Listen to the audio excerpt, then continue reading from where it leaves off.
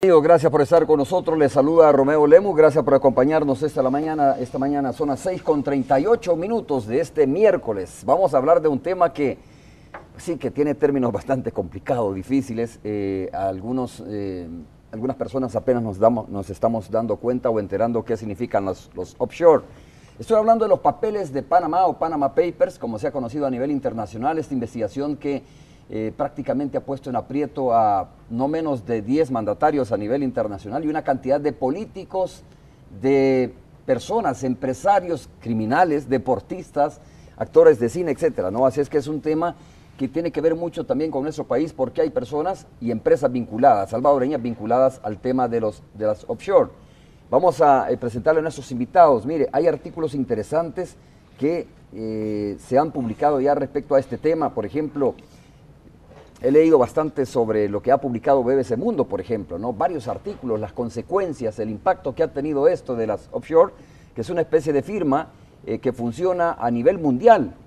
A primera instancia pensamos que solo era en Panamá, pero investigando nos damos cuenta que esta, esta modalidad de las firmas offshore que lo que hacen es crear empresas, incluso poner ellos, los directivos de las empresas, eh, que al final, digamos, representan a eh, empresas eh, o firmas de empresarios, ¿no? De distintos países del mundo, de políticos, de dirigentes deportivos, etcétera. Incluso usted sabe que el mismo Leonel Messi está de alguna manera vinculado a esta situación. Y eh, aparentemente no hay nada irregular en la creación de una empresa offshore o del funcionamiento de las empresas offshore. Alguien decía por ahí, el problema es que no dan aviso sobre operaciones sospechosas, ¿verdad? Que pueden dar o que pueden darse al interior de estas empresas.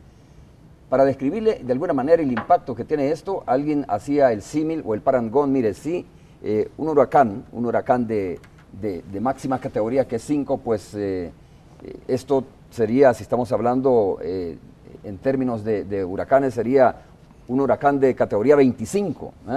O si este es un terremoto, o si por ejemplo la filtración de Wikileaks fue un terremoto de 10, pues esto es categoría 25, ¿no? Para que usted tenga una idea sobre cómo fue esta operación, cómo se filtró estos datos y los alcances que ha tenido. Francisco Lazo, ex viceministro y también economista de nuestro país, que por cierto ha trabajado materiales de investigación respecto a la elusión y evasión fiscal. Francisco, muchas gracias por estar con nosotros. Bienvenido. Buenos días, Romeo, buenos días. Eh, televidentes que, que nos están viendo, es un placer, un honor estar contigo esta mañana. Eh, César Villalona está también con nosotros, un reconocido economista de nuestro país. César, muchas gracias por acompañarnos. Bienvenido. Gracias por invitarme, Romeo. Un gusto estar con Lazo. Pues bien, mira, eh, uno de los artículos que me llamó la atención, y lo dice BBC Mundo, no lo estamos inventando nosotros, señores, dice Panama Papers 2.6 formas en las que los ricos y poderosos esconden riquezas y evaden impuestos, así lo titula precisamente, y enumera una cantidad de, formas, ¿no? Por ejemplo, el tema de hacer o... Eh, componer empresas fantasmas es uno, también la otra forma es centros financieros offshore, la otra manera es, dice, acciones y bonos al portador, son otras de las maneras. Eh, habla también del lavado de dinero, el lavado de dinero consiste en limpiar dinero sucio de modo que pueda ser usado sin despertar sospechas, esa es la otra parte. Si eres tú, dice, un narcotraficante, un estafador o digamos un político corrupto, lo más probable es que tengas mucho efectivo y ninguna manera de gastarlo o esconderlo. Bueno, entonces para eso sirven estas figuras. Francisco, tus primeras impresiones sobre esto. Eh, ahora eh, estás bien documentado sobre esta situación ¿eh? y tiene términos complicados, ¿no? Realmente, pero ¿qué has entendido de esta situación que se ha dado en Panamá? Bueno, Romeo, gracias. Aprovechando la, oportunidad de estar acá, quiero decir que no soy un experto en, en la materia, pero a partir de los últimos dos, tres días, 72 horas, a uno le ha interesado eh, escudriñar y saber de qué se trata esto de las offshore y de las empresas y todos los Panama Papers. Es interesante ver qué significa esto y qué significa la firma esta Mossack Fonseca. Ellos no son lavadores ni son nada de eso, sino que ellos lo que hacen es una firma de abogados que desarrolla las empresas. Es decir, ellos son los que en sus bufetes eh, le dan legalidad a las empresas y estas empresas no necesariamente tienen que estar radicadas en Panamá, sino que en cualquiera de los veintitantos eh, paraísos fiscales que existen a nivel del mundo. Y es interesante el tema offshore. Hay gente que lo traduce como, digamos, fuera de las costas. De las costas, es decir, son islas prácticamente, ¿no? Y cuando uno revisa la, la, mayor parte de los paraísos fiscales, son efectivamente islas, pequeñas islas que son paraísos fiscales que lo que se caracterizan es que sus controles eh, fiscales, tributarios y del secreto bancario están muy, muy arraigados y por eso que son atractivos. Y mucha gente que tiene dinero, no necesariamente mal habido, dice, voy a sacar mi dinero de los lugares donde tengo mayor eh, control tributario y lo voy a llevar a un paraíso fiscal para que allá se me oculte el dinero y yo ya no pueda estar tributando para eh, impuesto a la propiedad, impuesto a la riqueza, etcétera. Y además de eso, otro tema es dineros ilegales, narcotráfico, eh, tráfico de armas, trata de blancas, etcétera, que sí son ilegales y que es necesario, por lo tanto, ocultarlos, se llevan a estos paraísos fiscales, allá podrán pasar 3, 4, 5 años, se olvida el origen de esto y a los 5 años salen y ya están lavados o blanqueados estos dineros. Para eso es que sirve este tipo de, operaciones. De operaciones. También es interesante destacar algunos elementos importantes. Hay otras empresas que lo que lo utilizan es para triangular operaciones de comercio exterior, importaciones, exportaciones, etcétera, y lo que hacen es que una empresa offshore es la que compra o la que vende y a través de eso utiliza un, eh, lo que en economía o en comercio internacional se llama precios de transferencia. ¿Qué significa esto? Que una empresa le vende a otra un determinado precio para que esta otra le venda a, a donde directamente va la, la operación y a partir de los precios que se dan entre las empresas que ellos los manipulan. Es una triangulación, ¿no? Triangulación, efectivamente. Se dice, miren, voy a, si, si supongamos que fuera en el caso de El Salvador, se está trayendo mercadería de, legal de Estados Unidos, Japón, Europa, lo compra una empresa offshore y para venderlo a El Salvador se lo va a vender más barato. ¿Para qué? para que pague menos impuestos de importación. Y eso es otro de los elementos que se tienen. Y entonces se están trasladando impuestos que deberían de ser pagados en El Salvador a la, al, paraíso fiscal y allí o no pagan impuestos o se reduce significativamente. Lo más probable es que no paguen impuestos porque es una de las concesiones, digamos, o de las modalidades que tiene este tipo de paraísos fiscales. Lo otro es también transfieren lo que se llama impuesto a la renta no solamente impuestos de importación. ¿Por qué? Porque la mayor parte de los, de los países, y El Salvador es uno de ellos, nosotros no tenemos lo que se conoce el concepto de renta mundial, que significa que una inversión debe de pagar independientemente de donde tenga las inversiones, en qué localizados del mundo estén. Y en El Salvador, al tener una tasa de 30%, 35% que puede llegar a subir con las últimas reformas del impuesto a la renta, se dice, miren, voy a transferir a la, a la subsidiaria offshore la mitad de mis ganancias, el 80% de mis ganancias, porque allá no voy a pagar el monto de impuestos que me correspondería en El Salvador. ¿Por qué? Porque nosotros no tenemos el concepto de renta mundial. Y ojo, esto es un elemento que debe de ser eh, considerado a partir de las informaciones que están saliendo, es importante hacer una reforma al, impuesto sobre la renta para, para que se incluya el concepto de renta mundial y no nos quedemos únicamente con el concepto de renta territorial, porque eso nos permitiría a nosotros avanzar a la investigación de qué es lo que están haciendo las empresas eh, o los capitales salvadoreños que están en recintos fiscales. Bueno, ya vamos a hablar sobre, es que hay bastante sobre también este dato, ¿no? Sobre eh, las firmas de empresas o de abogados que están vinculados a esta empresa de, de Mossack Fonseca en Panamá y que por cierto tiene oficinas en varios países del mundo también. Eh, a ver, César, ¿cuál es tu opinión sobre esto? ¿Es esto sinónimo de que se está lavando así categóricamente, tajantemente, que se está lavando dinero, se está evadiendo dinero a través de este tipo de operaciones? Bueno, eso puede ocurrir, eso puede ocurrir, pero eso justamente es lo que tiene que investigar eh, la Fiscalía, por ejemplo, en el caso de acá, o en cualquier país, tiene que ser investigado. Porque, eh, como decía Lazo, se presta a esa posibilidad, porque el paraíso fiscal te permite eh, instalar una empresa que fundamentalmente son sociedades comerciales, porque no es que montan una industria llena de empleados, ni mucho menos, es una oficinita, es como una institución legal eh, pero sin mayor... Una institución legal que incluso jurídicamente, no ¿no? Sí, entonces desde ahí... Tiene una junta directiva, más bien. Es una junta directiva. Correcto. Entonces no es que tiene un, edificio. Entonces desde ahí, incluso aparte de lo que decía Francisco, puede, eh, por ejemplo, eh, depositar dinero en un banco suizo y garantizar el secreto bancario. O en Mónaco, hacer una movilidad de recursos. Y ocultar sobre todo el origen de los fondos de los dueños de esos fondos, el, su patrimonio, su ganancia, su renta. Entonces da para sospechar.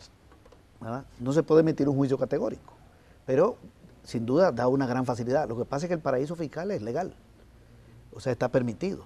Y no solo existe en Panamá, eh, existen muchísimos países. De hecho, en la lista que, que apareció ahí, que son más de 200 mil empresas, creo que 214 mil. Alrededor de casi la mitad están en Islas Vírgenes Británicas.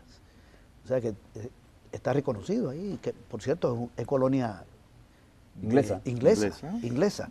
El paraíso fiscal es legal. ¿Dónde estaría la ilegalidad en este tipo de operaciones entonces? La ilegalidad estaría en el origen, fundamentalmente en el origen de los fondos. Si el dinero que envía para allá viene del narcotráfico, pero eso es lo que hay que investigar si viene de una evasión de impuestos, si viene de la venta de armas, ¿verdad? Si se ha utilizado eso para eh, ocultar el nombre del dueño del dinero, porque puede utilizar también... Eh, prestanombre. Prestanombre, y ocultar el origen de los fondos, y ahí se presta para todo. Entonces, esa es una gran posibilidad.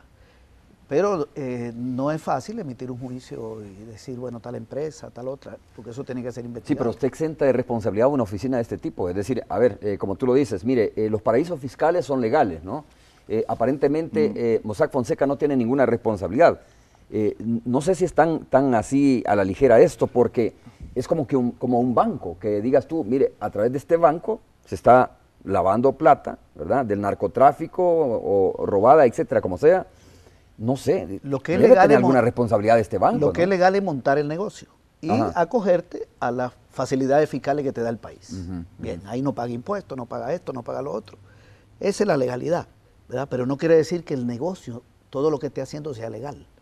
Ya esa es otra cosa. Eh, eh, sobre todo el origen de los recursos. En este caso, Mossack no tiene, eh, Francisco no tendría responsabilidad de conocer el origen de estos fondos y alertar a las autoridades respectivas, porque ellos de querer o no, supongo que funcionan dentro del marco de la ley del país donde están operando, ¿no? Sí. Es decir, hay, un elemento importante en esto. No son ilegales per se. Exacto. Es decir, eso, eh, sino que lo que hay que hacer es, como lo decía César, investigar el origen y el uso que se hace de los fondos. Eso y, y el propósito de por qué yo decido ir a colocar dineros en un paraíso fiscal. ¿Qué ¿Cuál es mi propósito de estarlo haciendo? Entonces, es ahí donde tienen que venir los elementos de investigación. Importante. Lo que sí es claro es que independientemente si es legal o ilegal, lo que está reñido es con la moral y con la ética. Y eso es un elemento importante que creo que no está siendo debidamente abordado, no solamente en este caso en el país, sino que en otros casos que aquí tenemos importantes. Se nos dice, mire, platicar con los mareros en aquella época no era ilegal, pero será moral y ético haberlo hecho. Recibir dinero de fondos de Taiwán para financiar campañas de eh, política no era ilegal en aquella época, pero será moral y ético haberlo hecho. Es decir, yo creo que debemos de entrar también el, el campo de la discusión en otros términos, en otros ámbitos, donde debemos de ahondar por qué hay empresas haciendo este tipo de, acciones. Y es ahí donde está la principal responsable que tienen nuestros elementos de investigación. La Fiscalía ahora tiene un caso interesantísimo para de verlo, para, para, profundizar en esto y, y, poder llegar al origen y por qué se están haciendo que no hemos escuchado pronunciamiento alguno, ¿no? En este ¿Y quiénes son? Lo importante es saber quiénes son y para qué. eso es un elemento importante. Ahora, eh, la firma Mossack Fonseca, si en Panamá es permitido hacer esto, ellos no están haciendo nada ilegal. Está como que miren ustedes en Estados Unidos, eh, la fabricación de armas no es ilegal. Y uno puede comprar armas en cualquier lugar. Y el propósito del arma es criminal, ¿no? Francisco, pero si a través de un banco, insisto, se lava dinero, no es no, ah, no, tiene, eso sí. no tiene responsabilidad un banco, no es nada No, legal. el banco sí, Ah. pero no la, no, pero no No la la firma de abogados Ajá, que está ah, eh, haciendo el documento Sí, de sí, sí. constitución de la empresa. Claro, ellos saben que ahí se está haciendo bastante más. Por eso es que yo digo que esto tiene- está reñido más con la moral y con la ética que con un problema de Se legalidad. describe Mossack Fonseca como, eh, a ver, la firma que esconde, digamos, intereses. ¿no? facilita, para mí Que es- facilita intereses sí. oscuros, digamos, Sí. por decirlo de esa manera. ¿no? Donde no hay mucha claridad del dinero que se está manejando o, mejor dicho, del dinero que van a manejar las empresas que cobran vida a través de Mossack Fonseca. Sí. Efectivamente. Bueno, y tiene otras implicaciones. Para Panamá es una entrada de dinero. La economía panameña es, es una economía con un crecimiento de 10%. Es un paraíso.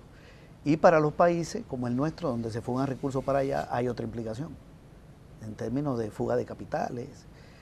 Entonces, eh, aparte de lo ético y lo moral, también tiene, tiene et- et- Sí. et- estos otros impactos. César, ¿hay, al- hay alguna operación que te puede despertar sospecha, eh, digo, operación que se haya de- llevado, llevado a cabo en nuestro país o que haya sido cuestionada en nuestro país, que te dé sospecha de que puede haber sido manejada a través de este tipo de operaciones? Y no sé, Francisco, si tú más adelante nos puedes brindar información sobre a cuánto asciende la evasión fiscal en nuestro país, que usted dice que tiene que ver. Bueno, tiene que ver precisamente con este tipo de situaciones, ¿no? Que probablemente plata que tuvo que haberse pagado o quedado aquí en el país, pues eh, se fue a hacer operaciones de este tipo a otra, a otra nación como Panamá y finalmente no pagaron lo que tenían que pagar, lo cual es por lo menos ilusión, ¿no?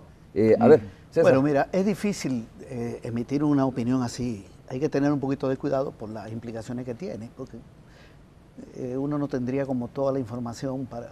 Es, es delicado, pero a mí me llama la atención que los bancos aquí lo pusieron, pusieron su casa matrices allá en Panamá, por ejemplo. Y está el mismo caso de- del dinero de Taiwán para Flores. Se habla de 15 millones, pero la investigación de la Asamblea Legislativa arrojó que podían dar por los 80 millones de dólares.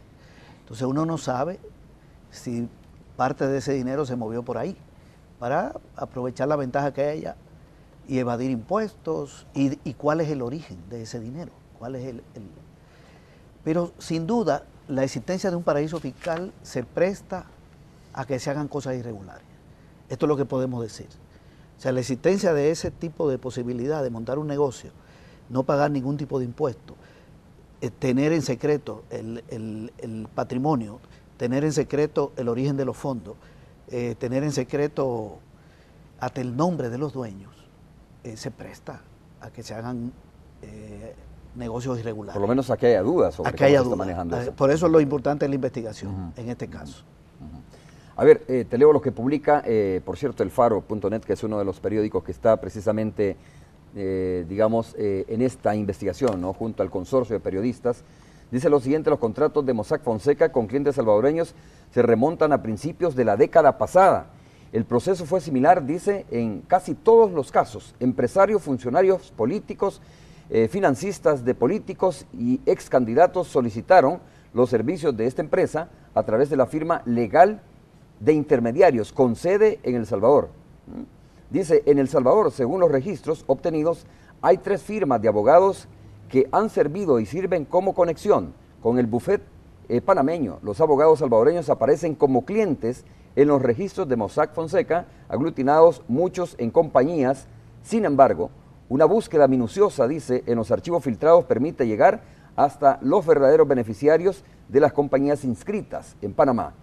Islas Vírgenes y otras a nivel mundial. El funcionario, eh, el funcionamiento, mejor dicho, es complejo, pero dice que es repetitivo la forma de, de hacerlo. un beneficiario se pone en contacto con Mossack Fonseca a través de su intermediario, ¿no? que puede ser un abogado, por ejemplo, que es ahí entra el tema del prestanombre probablemente. Dice, para crear una empresa offshore, digamos en Panamá, por ejemplo. Mossack pone la lista completa de directores de la nueva empresa. Imagínate, esto eh, aparentemente no tiene ninguna irregularidad porque está de acuerdo el cliente en que Mossack Fonseca ponga la lista, ¿no? generalmente empleados de la misma compañía, dice, residentes en colonias de clase media de la capital panameña, que, que además aparecen como directivos en otros o de otros clientes de empresas offshore a nivel del mundo. O sea, no solo son directivos de empresas que están afincadas en Panamá, sino también de otras naciones. La nueva empresa inscrita en el registro público panameño con esa junta directiva, Fantasma depende de otra empresa más grande, una empresa Shell creada también por Mossack Fonseca, dice, mediante un procedimiento similar. Las reuniones de las juntas directivas incluso se hacen o se llevan a cabo, según las actas, siempre en las oficinas de este despacho. Entre los millones de documentos y la cadena de empresas fachadas creadas por Mossack Fonseca, el Faro dice ha podido detectar hasta 33 clientes salvadoreños, la mayoría abogados que han servido de escudo para crear más de 220 empresas. Y ahí está el kit del asunto, la investigación, ¿no? qué tipo de empresas son y a qué se dedican estas empresas y de dónde viene el capital que están manejando estas empresas. Bueno, dice que algunas, eh, algunas de estas compañías o algunas de estas operaciones incluso se han eh, desarrollado con alcaldías o municipalidades de nuestro país. Creo que ahí es donde está el reto, como tú decías, ¿no, Francisco? Eh, y decía César, el reto que tienen las autoridades. En otros países ya hay renuncias. Ya hay renuncias de funcionarios, aquí no ha pasado nada todavía. Efectivamente, bueno, tenemos la renuncia del primer ministro de Islandia, la renuncia del, ministro, de, la presidencia de, Panamá, que es que está ligado a, la empresa Mossack Fonseca, de apellido Fonseca, es decir, es de los accionistas. Es decir, va, y esto está iniciando, apenas tenemos 72 horas de que esto ha iniciado, y en El Salvador parece que no ha habido mucho salvo que ya han aparecido algunas empresas ahí con, los accionistas que, están, pero la fiscalía no se ha pronunciado y eso realmente es preocupante. Claro, la fiscalía tiene muchos casos por, por delante y, no sé si esto será más importante de, lo que está aconteciendo en el país con el, con el tema de, de delincuencia, pero sí considero que debe de actuarse con seriedad sin pasionismo, es decir, con amor a El Salvador, de averiguar qué es lo que está sucediendo, por qué están estas empresas eh, de capitales salvadoreños en paraísos fiscales con empresas offshore, ya sea que estén con Mossack Fonseca o con cualquier otra.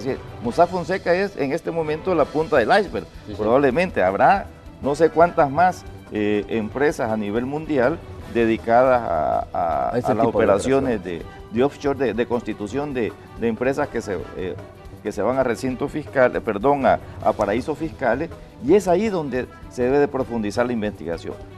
Lo repito, tenemos algo importante por delante que debemos de llegar al fondo. Caiga quien caiga, salga involucrado quien salga involucrado. El punto es determinar si, eh, a ver, si se ha ido plata a esos paraísos fiscales, como tú dices, plata que tuvo que haberse quedado en el país, ¿no?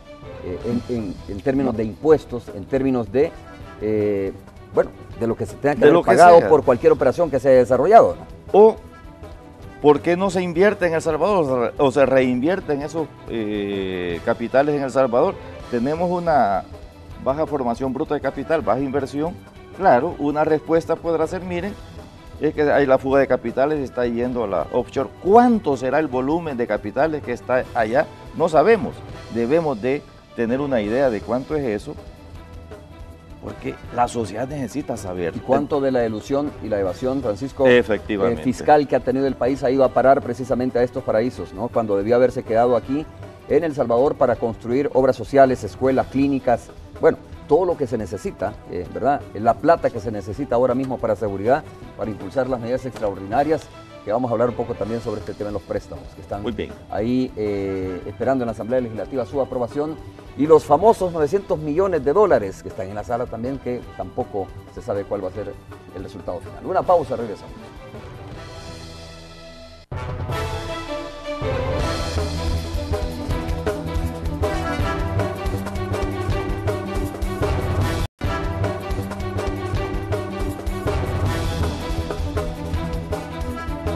Bueno, estamos de regreso. Gracias por continuar con nosotros. Por lo menos se puede presumir y nos permite la duda, tener la duda, sobre si eh, la cantidad de evasión fiscal y elusión fiscal que ha habido en el país, pues ha ido a parar. Si mucha de esa plata que tuvo que haberse quedado aquí en el país, no estamos diciendo que así sea, pues, pero por lo menos digo, este tipo de operaciones offshore eh, nos permite dudar que si la plata que se tuvo que haber pagado aquí, por ejemplo, digo por ejemplo, ¿no? Si es el caso, cuando se vendió eh, los bancos, como tú decías, César, eh, entiendo que el ministro de Hacienda lo ha dicho muy claramente, que no pagó nada esa operación, y por esa operación al final no se pagó nada, ¿no? Cuando debió haberse pagado una cierta cantidad de plata, entiendo, Francisco. Entonces, uno no sabe si al final esta, plata terminó, eh, no, no creo que haya terminado en estos paraísos, depositada sí, pero no hayan pagado en esos paraísos, sino más bien, sino más bien a través de este tipo de operaciones se evitó pagar lo que tenía que pagarse aquí en el país. Esa es la duda, creo, no había que pagar nada en El Salvador. No había que porque pagar ya estaba hecha la, regla fiscal al respecto. Ajá. En las disposiciones que, en ese momento tenía la, ley del impuesto a la renta, la ganancia de capital, si uno tenía capital, una acción, transcurridos, no me recuerdo si eran 5 o 10 años, de que yo era propietario de esa acción, ya no pagaba absolutamente nada por ganancia de capital.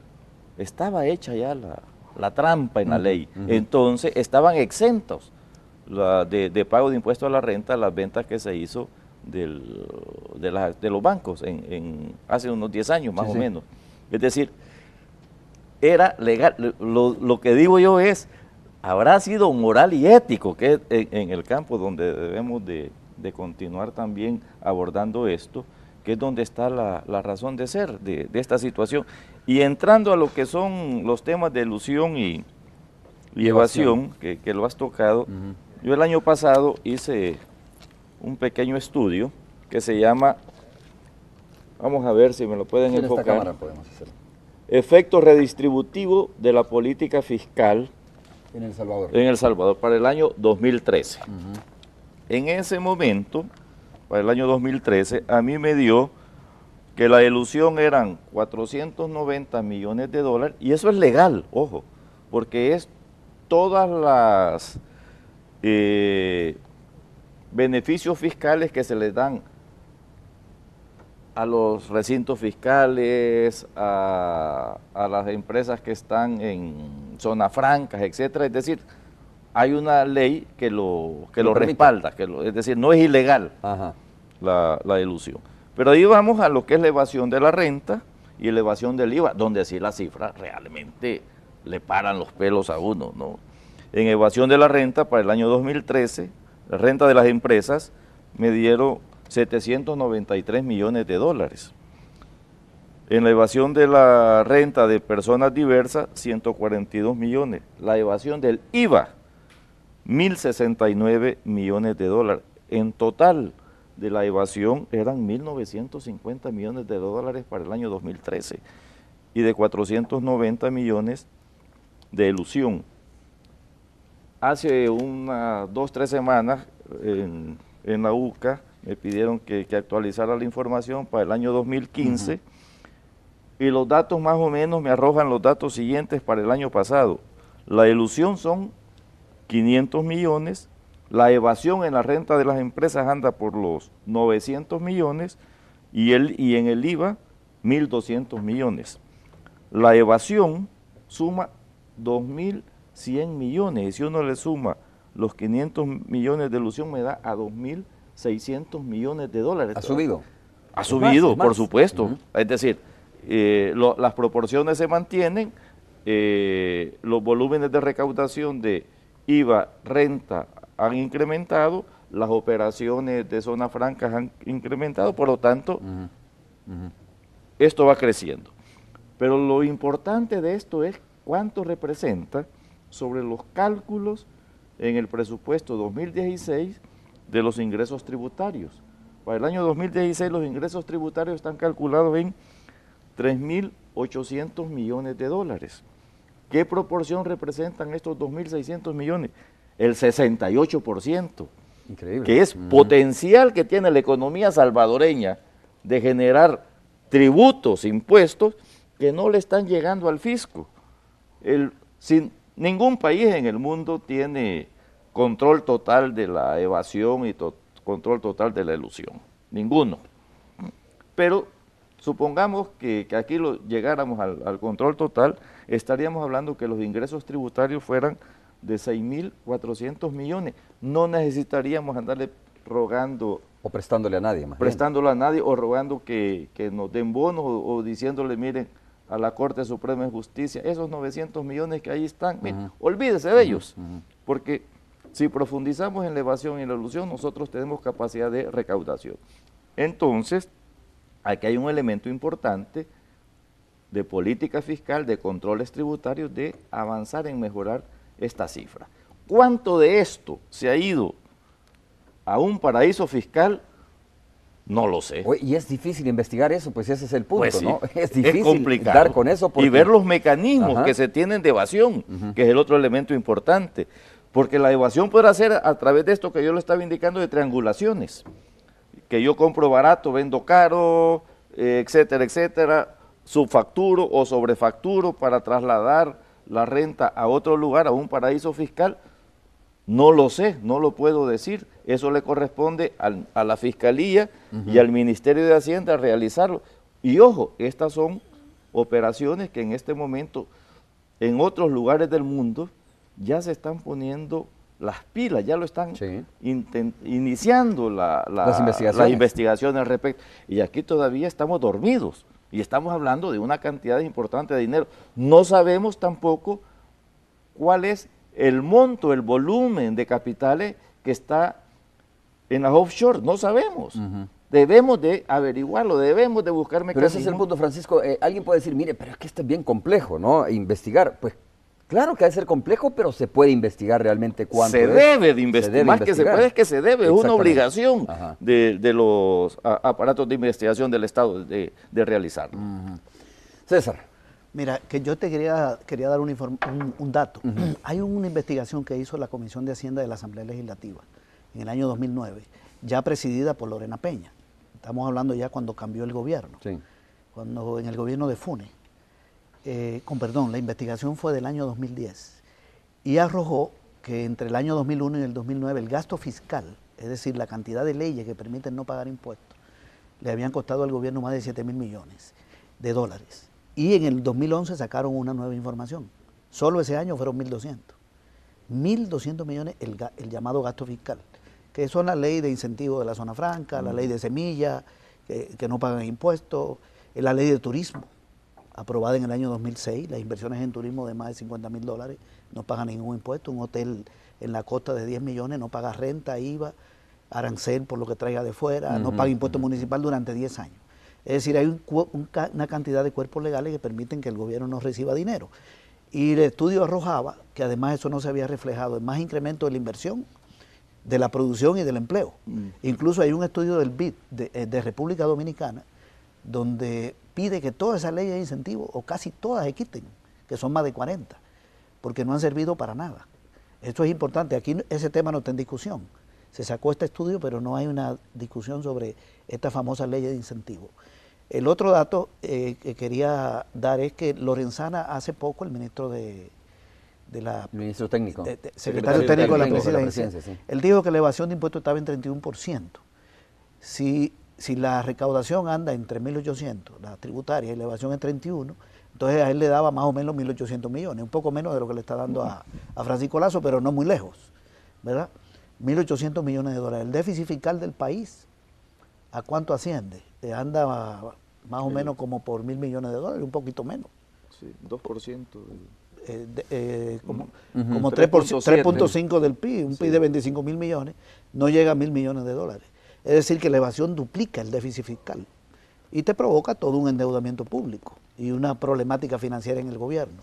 Finalmente, en el tema de la banca, eh, ellos la vendieron también, vendieron los bancos, porque no solo vendieron los bancos, sino las empresas de seguro y las AFP, fue el combo. Incluso la tarjeta de crédito y todo eso, lo hicieron a través de la bolsa de valores para no pagar IVA. Es decir, la transacción se hizo a través de una empresa que se llama Bolsa de Valores, porque es un mercado, mejor dicho, y el Estado no recaudó nada. ¿Lo cual es legal? Es legal porque la, es que ese es el problema. Sí, Porque las la, operaciones a través de la bolsa de valores están exentas de impuestos. Entonces yo vendo el banco a través de ahí, se lo vendo a un panameño, a, un colombiano, me quedo como accionista minoritario porque todavía tienen acciones. Eh, y entonces el gobierno no percibe. O sea, es una cantidad de, de recursos que no le llegan al Estado por eh, ilegalidades, por delito y por... Eh, eh, medidas que lo permiten, pero que como dice Francisco no son éticas. Porque además, ¿quién, hace la ley y quién te la aprueba? Yo recuerdo en el año 2006, yo tengo el periódico del año 2006, donde un prominente empresario de aquí, posiblemente el más rico, presentó la ley de turismo en persona. Se la dio a un diputado del PCN, la ley de turismo. Apruébeme esta ley de turismo. Un empresario vinculado a las cadenas hoteleras. Entonces, ¿dónde está la ética? Porque no te dicen, apruébeme esta ley que beneficia a la microempresa sino una ley que va a beneficiar a los hoteles que yo voy a montar. A su grupo empresarial. A mi grupo empresarial. Bien, entonces hay demasiadas cosas. Eh, eh. Oye, solo para cerrar este tema y hacer una reflexión final, porque quiero hablar un poco también sobre cómo están viendo ustedes esta cuestión de estira y encoge en la Asamblea respecto a los préstamos y la necesidad que tiene el país, ¿no? o el Estado como tal, de recursos para viabilizar diferentes proyectos o leyes incluso, como estas eh, aprobadas, medidas excepcionales recientemente. Francisco, si te preguntaran a ti, ¿quiénes y con qué intención eh, acuden a los paraísos fiscales? ¿Quiénes acuden? ¿Con qué intención acuden a los paraísos fiscales? Estas personas o empresas, como tú quieras. Como ahora se ha puesto en internet de moda esto, aquí tengo yo un pequeño artículo, dos páginas, que, que logré bajar anoche, que dice las tácticas usadas por los ricos para esconder su dinero y evadir impuestos. Encabezado. Para eso sirve, pero no es para el único propósito que sirve. Hay propósitos también eh, sanos, pero desafortunadamente yo considero que para esto es para lo que más se utiliza, para... Eh, para hacer negocios de alguna manera oscuros. Efectivamente. Personas que no quieren que sepan quién es el dueño de la empresa, el origen de, de operaciones, el, origen de sus fondos, etcétera. Vean ustedes lo que dice este. Cuando alguien acaudalado quiere desviar fondos desde su país de origen, donde normalmente hay leyes mucho más serias y estrictas, así como un mayor control del Estado sobre los bancos, pues les basta crear una empresa fantasma en uno de estos países menos restrictivos, como es el caso de un paraíso fiscal, esta empresa es creada a nivel de documentos, nada más, no hay nada físicamente. A partir de ahí el dinero se mueve, entra y sale, mientras sus escasos responsables ni siquiera residen en el país, en el paraíso en cuestión. Ahí no hay eh, problema con, con, el secreto bancario, están protegidos por, por esta situación. Y entonces dice eh, estos sujetos se proponen lavar todo el dinero sucio que proviene de operaciones ilícitas, se colocan ahí, pasa un tiempo, para más adelante extraerlo y ya limpio, es decir, ya lavado, invertirlo en hoteles, casinos, fincas, yates, bienes, muebles, inmuebles, etc. Volvemos al tema de la triangulación que se hace. Efectivamente. Entonces, para eso sirve. Para hacer lícito el dinero ilícito y luego invertirlo en negocios aparentemente lícitos. Ajá. Después de pasado un tiempo, ya el dinero supuestamente ya está lavado, está lícito, no se hace inmediatamente la operación y se tira de nuevo ahí al mercado razón, Ahí confluyen narcotraficantes, hay de todo. políticos corruptos, empresarios corruptos, porque los hay, ¿no? En, todo el mundo. Efectivamente. Eh, confluyen en esa misma situación. Mira, ahí se ponen a la misma altura todos. Y, e incluso actividades de terrorismo están Exactamente. en, en Porque ISIS incluso está vinculado de alguna manera a este tipo de situaciones, estaba leyendo, ¿no? Eh, algunas operaciones que se han Mira, un dinero lo saca, un dinero de narcotráfico, proveniente del narcotráfico o de cualquier otro negocio ilícito, lo colocas en, el paraíso y de ahí lo depositas en un, en un banco de un país donde hay secreto bancario y ya está lavado. Porque en ese país luego se presta. Y ya sale a la calle y el dinero está... ¿Y cuáles son estos? Porque hay un vínculo no es solo el paraíso fiscal, sino que está el secreto bancario en Suiza, está el secreto bancario en Mónaco, por ejemplo. O en Islas Caimán, también. Por ejemplo, ¿no? Entonces, todo queda legalizado. Y eso termina después en, una empresa tipo Metrocentro. Porque el banco le presta a un empresario de la construcción, entonces hay un Metrocentro. Y ya el dinero está lavado porque ya salió a la calle, ya se pagó salario, ya... Ese es el mecanismo, porque lavar dinero no es echarle jabón ni agua, y legalizarlo. Qué bueno que, César tocó esto, lo de Suiza. Yo me recuerdo, el año pasado, antepasado, hubo un pequeño escándalo de, en Suiza con el banco HSBC. Sí, sí, correcto.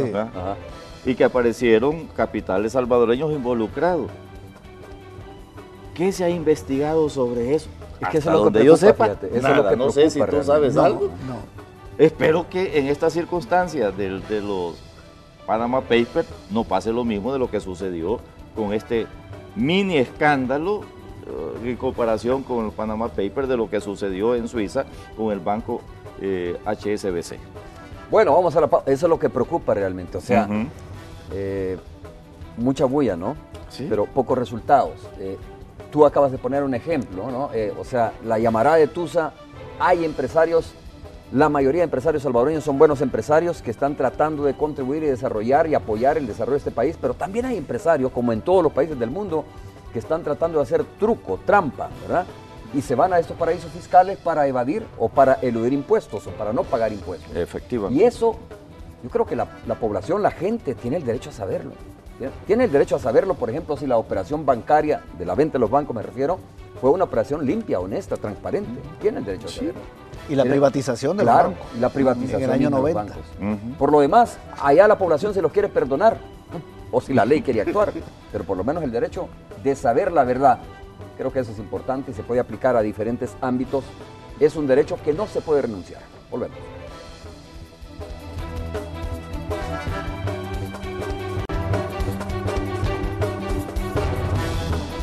Gracias. Eh, ya para el cierre eh, de la entrevista esta mañana, quiero aprovechar para preguntarles a ustedes también, señores, sobre el debate. Hay bastantes temas interesantes en la Asamblea Legislativa. Uno de ellos es los préstamos. Eh, uno de ellos es precisamente el préstamo que está en la sala de lo constitucional, estos 900 millones de dólares, que todavía no se sabe cuál va a ser el, el destino y la decisión de la sala, que ha sido urgida por diferentes sectores, sobre todo por la Asamblea Legislativa, para que falle, para que diga si sí o no pero también está en discusión 100 eh, millones de dólares, ¿verdad? Eh, y que creo que podría entrar esta semana, 100 millones de dólares, César, para financiar las medidas extraordinarias.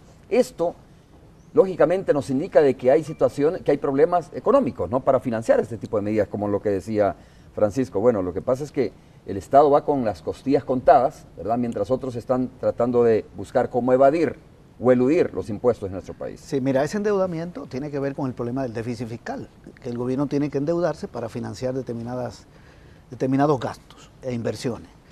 Eh, ojalá que se aprueben los 100 millones, porque se necesitan esos recursos para, para apoyar las medidas que se aprobaron.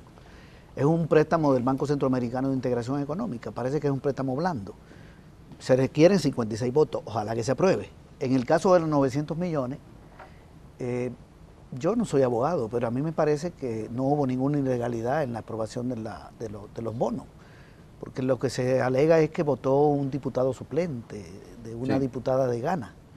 Pero cuando eligieron a los magistrados actuales de la Sala de lo Constitucional, a los, a los cuatro, no al último, votaron suplentes. Votaron como 13 suplentes, incluso suplentes de, diputados que no eran, eh, digamos, directamente suplentes, porque el suplente lo pone el partido. No es que si yo soy suplente tuyo, cuando tú no estás, te, sustituyo yo, sino que el partido puede decir cuál es el suplente. ¿Crees tú que por eso, por eso que estás señalando ha tardado tanto la sala en Entonces no entiendo por qué tienen que pasar tantos meses y no decir, bueno, fue ilegal o fue legal, porque si fue ilegal, entonces se somete a votación de nuevo a ver si Arena apoya, porque se requieren los votos de Arena. Si hay que someterlo de nuevo, Arena tiene 35 diputados y diputadas, ah, tendría que contar con el apoyo de Arena.